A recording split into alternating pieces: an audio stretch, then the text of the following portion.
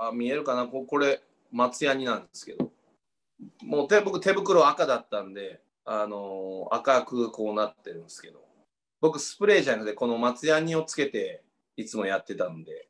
これスプレーと松ヤニの違いっていうのはもう粘着力が全然違いますか？そうですね、あの全然違うしあの僕はどっちかというとスプレーこっちの方が好きでした。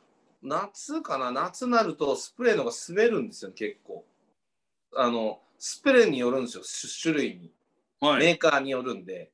でホークスのはどこ,、まあ、どこどこが使ったのな。んか使ったんですけどそれじゃ全然滑っちゃうんで。なのでもう松ヤニにしてやってました。でちょうど松ヤニの方がこうなんていうのかな。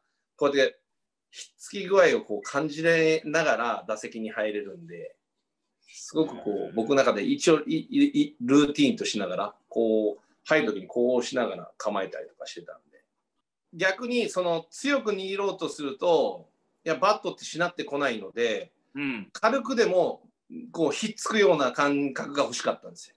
僕は指でこうやって握るので、はい、特にやっぱり外れやすいんで、でもこれをギューッと握るとヘッドが走ってこないんでこう指でさっと握った時にこうベタベタ感があるっていうのが好きだったんですね。あんまりガチッと握るとヘッドヘッドがこうしなってこないので木のバットっていうのは。